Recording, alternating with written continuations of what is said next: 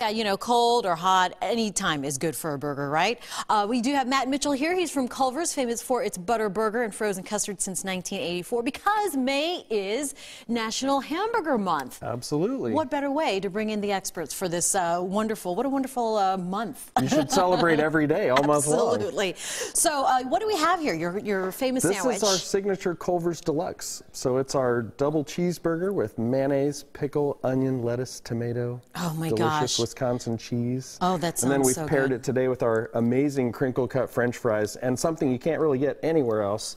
Delicious right. Dairyland cheese curds. Oh my gosh, love the cheese curds. Absolutely. And and so the secret is you guys use fresh beef, right? Absolutely. That number That's one. a huge deal. It changes the game completely. Totally. So Season never it before. frozen. We actually sear it to a grill, and after we turn it, we put a little bit of seasoning on it right then, so it can kind of dissolve right in and taste amazing. All right, what other secrets can you share with us to make a, I, a good burger? I can't burger? share you any other. No, I'm just teasing.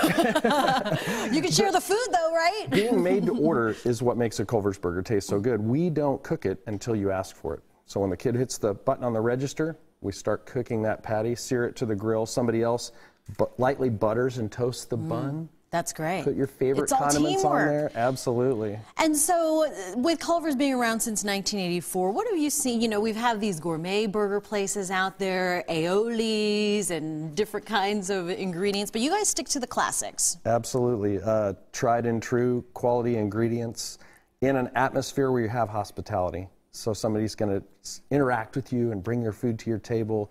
We have a different atmosphere, I think, than everyone else. But again, you got to start with those quality ingredients, make the amazing burgers taste great. Absolutely. And it smells so good. It's one of those things where I didn't know I was that hungry until I saw and smelled all of this food. Now my uh, stomach is completely growling. You can celebrate Burger Month. I will. I'm going to celebrate it today. Thank you for bringing this in, Matt. And you have several locations. Yes, there are actually 13 in the metro area, so you can pretty much find us anywhere. We have a great app or a or website if you want to find Oh, us good. on there. You Yeah, certainly can. There's an app for that. Absolutely. All right. Thank you, Matt, for bringing this in. And happy Hamburger Month to you, Richard.